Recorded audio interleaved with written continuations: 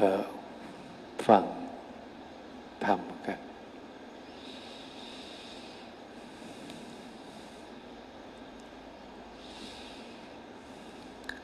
วันนี้ก็ใน วันนี้ก็เทศมาสองรอบ นี่รอบที่สามทุกวันส่วนใหญ่ เกิดสวดมนต์ไปสองรอบ ได้เงือดีจังเลยชั่วโมงกว่า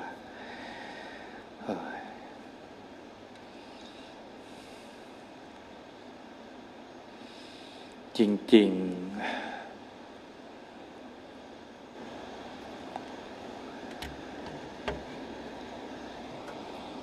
ถ้าเราจะพูดถึง ความลงตัวของชีวิตมนุษย์นะ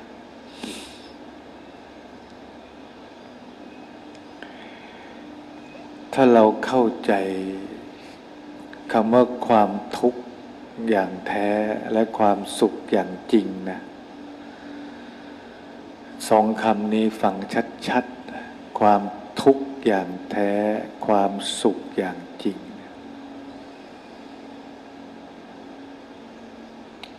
เราจะมีปัญญาที่เรียกปัญญาวิมุตต์ไม่ใช่สิ่งสมมุติของโลก ถ้าสมมุติขนาดยาเสพติดก็ยังสมมุติว่าสุขเลย ขนาดกินเหล้าเมาเป๋ก็ยังบอกว่าสมมุติว่าเป็นสุข ขนาดไปข่มขืนลูกเมียเขาก็ยังสมมุติว่าเป็นสุข คิดแค่นี้ก็พอแล้วว่า มันไม่ใช่ไง แต่ไอความหลงทุกข์เนี่ยและบอกเป็นสุขเนี่ยเขากลับบอกว่าใช่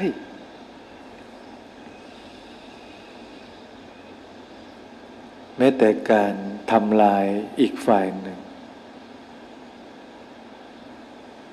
เพื่อตัวเองก็ยังบอกว่าใช่ เนี่ยก็เรียกสุข ที่มัน มันไม่ มันไม่ใช่ มันไม่จริงไง เราสมมุติกันว่าใช่ แต่ที่เป็นความทุกข์ที่ใช่เรากับ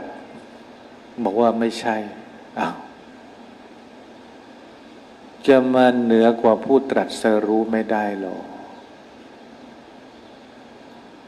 พวกเรามันตาบอดใสกันเยอะมาก จริง ๆ ตอนนี้ธรรมาถ้าพูดกันโดยส่วนตัวนะ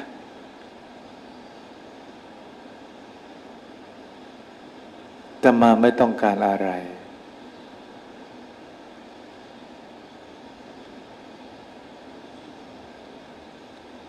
เพราะว่าไม่ขาดอะไร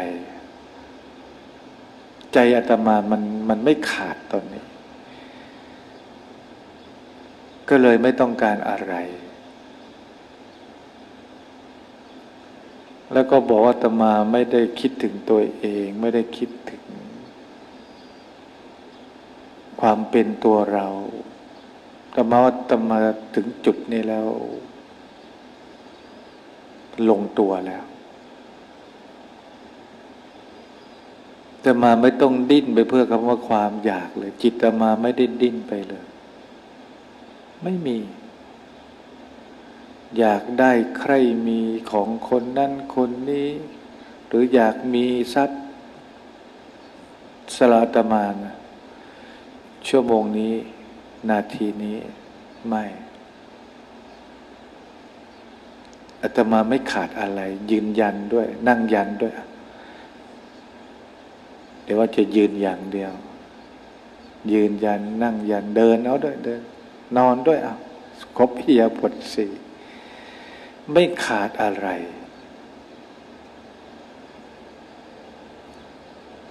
ทำไมไม่ขาด ใจตมาเติม เติมเต็มอยู่แล้วตอนนี้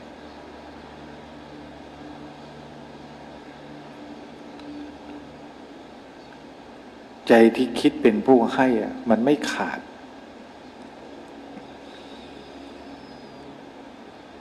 คิดที่ทำได้ก็ทำคิดที่ทำไม่ได้ก็วาง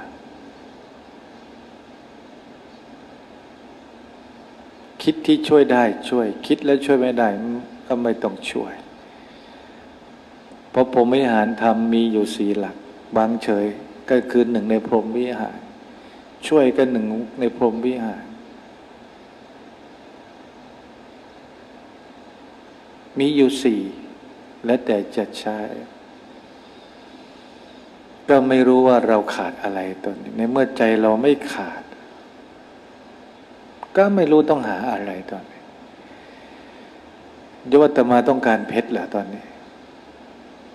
ไม่ไม่อยู่ในสมอง ทองล่ะไม่ได้อยู่ในสมอง ไม่ ไม่ต้องการอะไร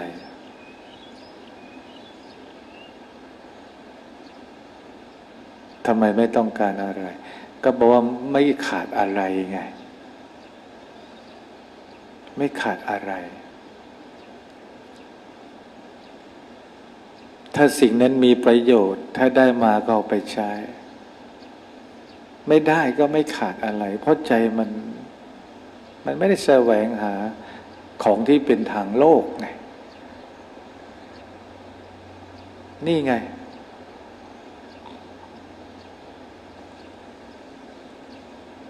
แต่มาจริงไม่ได้ออกไปสู่โลก ก็เพราะว่าไม่ได้ต้องการ รูปเสียงกลิ่นรสสัมผัสกระทบ เข้าของเงินทองชื่อเสียงเกียรติยศเพชรนิจินดาแต่มาว่ามันเป็นส่วนเกินของตมามากกว่าด้วยซ้ำไป และอยู่อย่างนี้ตมาก็ลงตัวแล้ว จิตน้อมไปสู่ความสงบ สู่ความระงับ สู่ความดับ สู่ความว่าว่าง ไม่รู้สึกเลยว่าจะต้อง ไปแข่งดีกับใคร ไปอวดดีกันทำไม ไปแย่งชิงเพื่ออะไร พราะตมามองเห็นอนาคตแล้ว ว่าสิ่งเหล่านี้เอาไปไม่ได้ ครอบครองได้ในช่วงหนึ่งเวลาหนึ่ง แต่ว่าผู้ที่ครอบครองมีปัญญาแค่ไหน ที่ไม่ให้สิ่งนั้นเกิดโทษ กับตนเอง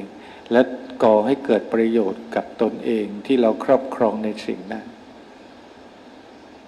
นี่ไง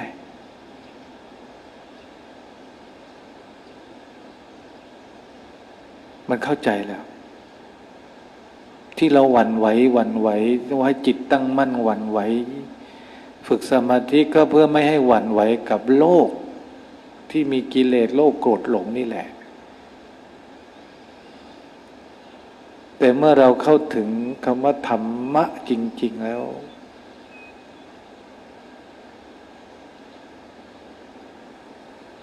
ทำไมเราต้องทุกข์กับสิ่งไม่เที่ยงด้วย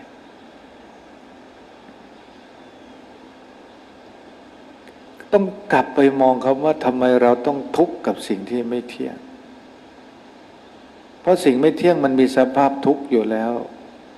แล้วทำไมเราต้องไปหลงกับมันทำไมต้องไปฟูมไฟกับมัน ไม่จำเป็นแต่มาไม่จำเป็นต้องไปหลงคำว่าอนิจจัง ไม่จำเป็น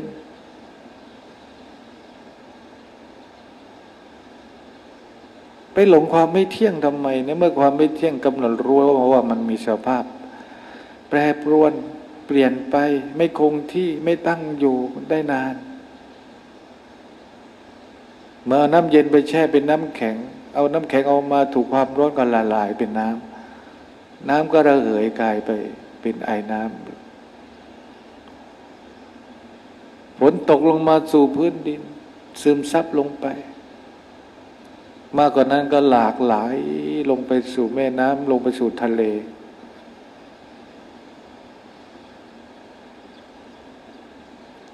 สิ่งนั้นมันเป็นวิถีของธรรมชาติที่มีอยู่โดยธรรมชาติอยู่แล้ว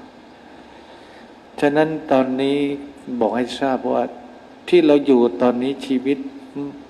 ถ้าเราเข้าใจมาแล้ว การกระทำมันก็คือแรงสะท้อนกลับมาสู่เรานั่นเอง ทั้งหมดตอนนี้ การกระทำทั้งหมดคือผลสะท้อนหรือแรงสะท้อนกลับมาสู่เรา ที่บอกโลกมีแรงดึงดูดอยู่ที่เรา แต่มันมีการสะท้อนอยู่ด้วย ฉะนั้นคำว่ากรรมกฎกรรมมันจะไม่มีหรอกถ้าไม่มีก็มาการสะท้อน มันเป็นการสะท้อนทั้งหมด เราทำอะไร มันสะท้อนทำดีได้ดีนี่ไง มันสะท้อนทำชั่วได้ชั่ว นี่ไงสะท้อน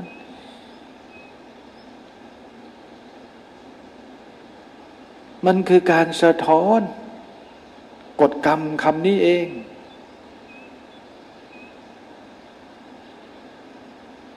มันคือการสะท้อน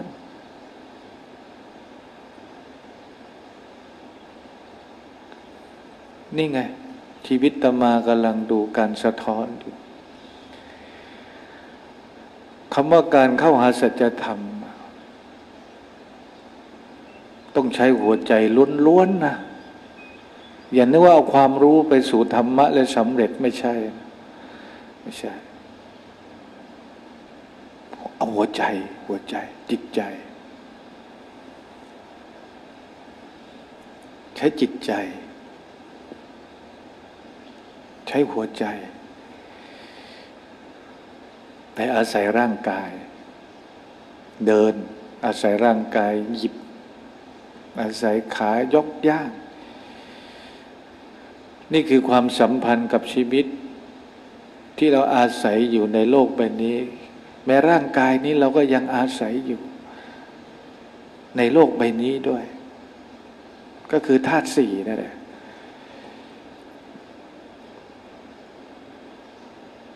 ก็เข้าใจแล้ว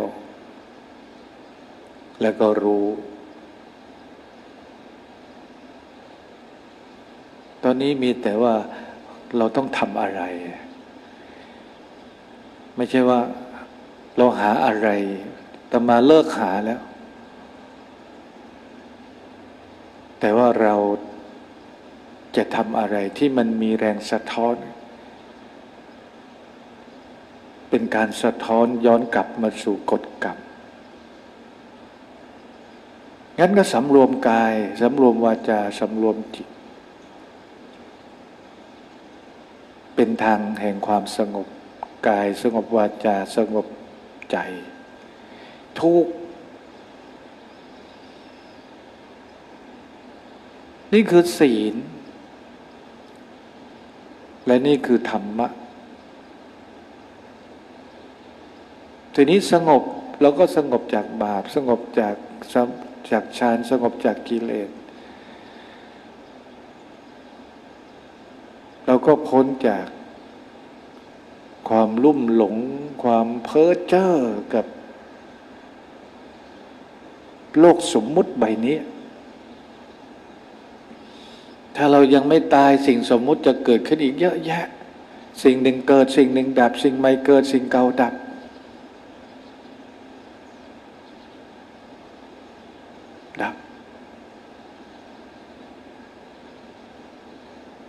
ก็พัฒนาการไปเรื่อย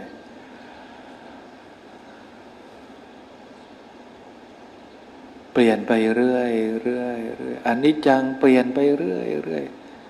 ไม่รู้หน้าตามนุษย์อีกสักห้าร้อยปีจะเป็นหน้าตาแบบไหน ทรงผมยังไง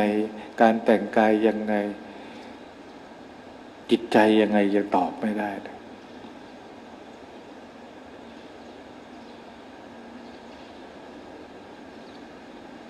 ตึกรามบ้านช่องไม่รู้รูปทรงไหน หรือลอยอยู่กลางอากาศกัน หรืออยู่ใต้ทะเลกันก็ไม่รู้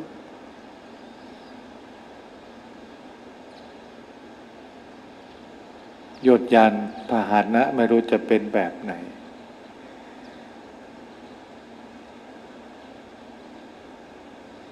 ก็เจริญขึ้นไปเรื่อยๆ แต่สิ่งที่จะมาขึ้นหัวข้อไงว่า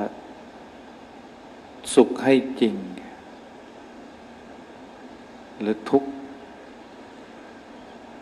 ที่มันเรากำหนดได้ไหมทุกแท้จริง และสุขของจริง ตอนนี้ตามากำลังดูไอ้ที่มันทุกข์จริง ๆ มันคืออะไร ไอ้ทุกข์จอมปลอม ทุกข์ด้วยอนิจจังที่มันมีสภาพทุกข์เนี่ยตามามองเป็นเรื่องปกติไปแล้ว คือไม่ต้องใส่ไข่อะไม่ได้ดูเป็นเรื่องพิเศษอะไร ดูเป็นปกติ ที่มันเป็นเรื่องอนิจจัง แต่พอเราไปปรุงแต่งอนิจจังเข้าไปนะมันมีทุกขังเพิ่มขึ้นเยอะเลยจากหนึ่งเป็นสองสองเป็นสี่สี่เป็นแปดแล้วแต่จะบวกจะคูณเข้าไป เราปรับปรุงด้วยความปรุงเข้าไป ทุกด้วยความคิดทุกด้วยความอยากทุกด้วยความเห็นทุกด้วยความกำหนัดยินดีทุกด้วยความแล้วแต่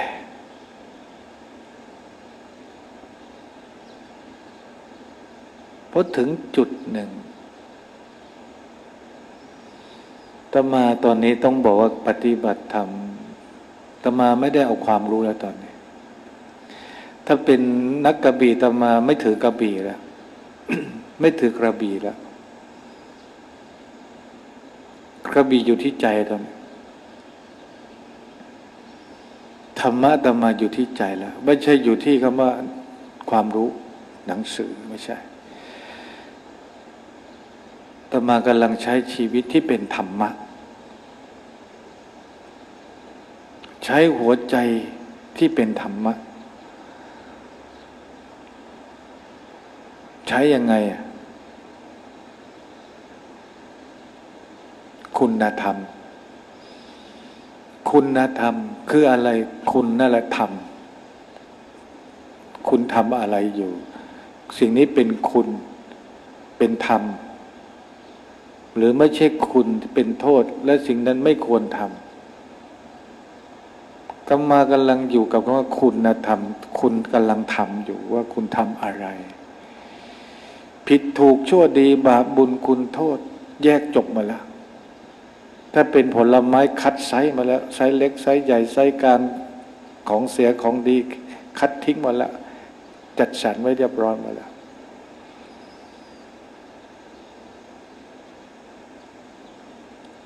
ทุกอย่างมันมีระเบียบในตัวมันมีระบบอยู่ในตัวของสิ่งนั้น ที่บอกทำจะเป็นธรรมชาติจัดสรรโดย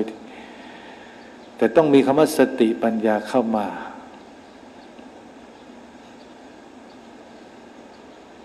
ก็เลยบอกว่า ตอนนี้ใช้คำว่าหัวใจที่เป็นธรรมะ ชีวิตที่อยู่กับธรรมะ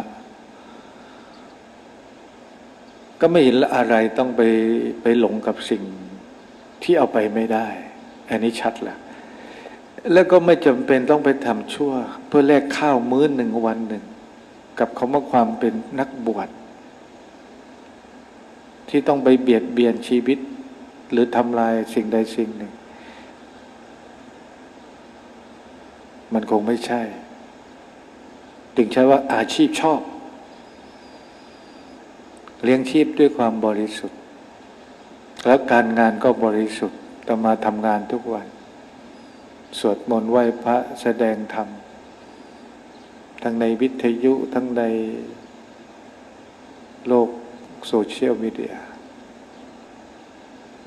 ทั้งการเผยแผ่ ต่อหน้าญาติโยมแล้วก็ ไลฟ์สดออกไป ยุคมันเป็นอย่างนี้ก็ต้องใช้ประโยชน์ของเขาให้เกิดขึ้นมา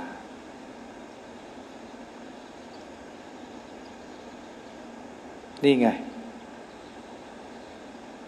กำลังใช้ชีวิตที่เหลือน้อยอยู่ตอนนี้ว่าเรา เมื่อเราพอแล้ว จากนี้ก็คือให้ ก็เกิดจากการบำเพ็ญเสร็จแล้วก็มาอุทิศตนกัน เหมือนเราพอแล้ว แล้วทีนี้เราก็มาให้ อะไรก็ได้ที่เราให้ได้ ความปรารถนาดี สติปัญญา หรือแสงสว่าง อะไรก็ได้ ไม่จำเป็นทุกคนก็ล้วนแต่ มีจุดขายของแต่ละคน ว่าคุณจะให้อะไร แล้วแต่อาตมาก็มีจุดขายของอาตมา ให้ธรรมะ เป็นทานบารมี ให้แสงสว่าง เป็นเครื่องนำทาง มันก็รู้แล้วว่าเราอยู่ด้วยสมาธิทีเลี้ยงชีพชอบ นี่อยู่ในมรรคองแปดแล้ว อาชีพชอบนี่ใช่แล้ว การงานชอบนี่ใช่แล้ววาจาชอบนี่ใช่แล้วนี่นี่ครึ่งแล้วนะสี่ละสมาธิชอบนี่ใช่แล้วมุ่งมั่น ไม่มีเปลี่ยนแปลง โควิดก็ไม่เกี่ยวกับมาเทศได้ทุกวัน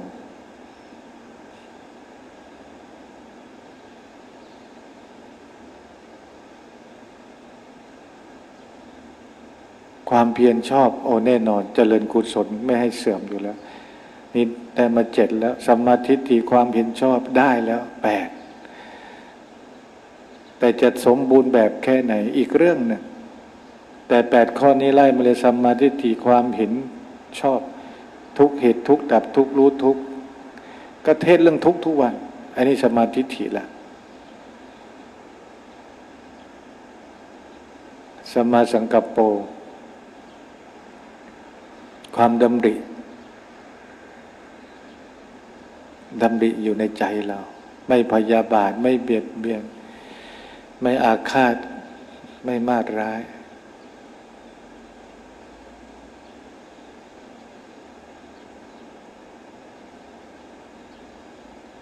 นี่แน่นอนละแผ่เมตตากันทุกวัน อุทิศบุญกุศลกันทุกวัน ไม่อยากมีเวรมีกรรม แผ่บุญให้เขาเจ้ากรรมในเวรคุณจะอาฆาตเลยแค่ไหนก็แล้วแต่ แต่เราให้บุญคุณทุกวัน จนกว่าวันหนึ่งคุณจะรู้ว่าจิตตรงนั้นมันดับไปแล้ว สิ่งที่ผิดพลาดคือจิตอีกดวงหนึ่ง ไม่ใช่จิตดวงนี้ วันหนึ่งคุณก็ต้องเห็นความจริงใจที่เราทำให้ทุกวันทุกวันวาจาทุกวันนี้ก็แน่นอนไม่ได้ไปทางอื่น ก็อยู่ในมรรคองแปดแล้วตอนนี้ พอมาเทียบกันแต่ละข้อ เออใช่ นี่เราเดินอยู่ในอริยมรรคชัดๆเลยไม่ได้หลุดไปเลยทุกข้อมีคุณสมบัติอยู่ในตรงนั้น ถ้ามาเทียบกันแล้ว ไม่มีว่าจะมานั่งคิดเรื่องอกุศลไม่เอาไม่เอาไม่เอา อยู่วันหนึ่งกำไรชิปไปวันหนึ่งอยู่สิบวันกำไรสิบวันรับรองได้หนึ่งคือเราได้กุศลจิตสองเราได้ทำประโยชน์ นี่ไง มันใช่แล้ว ก็ไม่ได้สงสัยแล้วตอนนี้ไม่ได้มีอะไรสงสัย จะนั่งจะยืนจะเดินในเอียบทไหน ก็ได้หมด